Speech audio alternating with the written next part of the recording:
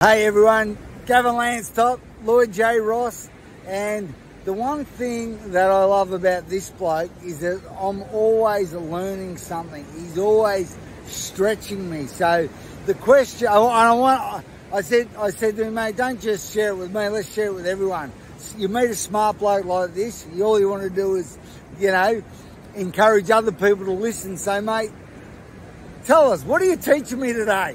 So today's lesson is um, we just went for a run. We're on the beach and uh, doing this video is about what, what are we what are we talking about yeah. when we go for a run. Yeah. So today, what popped up a couple times is just how important it is to be up to speed with technology. Yeah. Because if if you get left behind in technology, you may be feeling it yourself. You, you may feel it now. Like I'm a technophobe. You might have these language this language in your head saying, "Well, I don't do technology. I'm a technophobe." And so you speak that into existence, and all of a sudden you can't use technology. And what it's starting to do in 2022 is disconnect you. I know that seems a bit weird, like, no, my connections with my mates face to face. Yes, it is. But how much is it costing you not to know, understand technology? Because we live in a world today where it's, it, it, it saves you time. You know, it's a system, save you time, stress, energy, and money, right?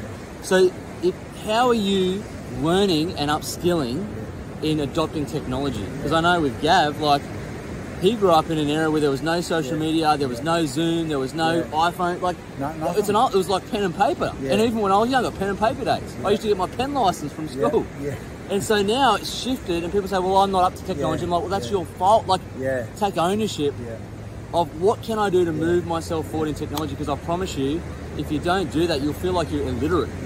And you know, could you imagine what it's like not to be able to read and write? Yeah, yeah, I know. So it's like, yeah. how is that showing up in your life? What's it preventing you from achieving yeah. in your business, in your wealth, in your health, yeah. whatever it is? How how are you adopting technology to level up? And I know with Gav, like he's leveled up even in the last couple of years. Yeah. Just gone from here to there, and it's actually made such a massive impact in how he can change the world, which is his mission. Well, well, well, mate, I can tell you the moment. I can tell you the moment where I said, I've got to step up, I've got to level up. And I remember talking with my son, uh, talking with my wife, and we're, we're, talking about systems and what have you. And, and he said to me, my son, right, he said, you've got this mission, you've got this dream, you've got to learn all this technology stuff. Because if you don't, you will never live your mission. I thought, goodness me, feels like I'm talking to myself here.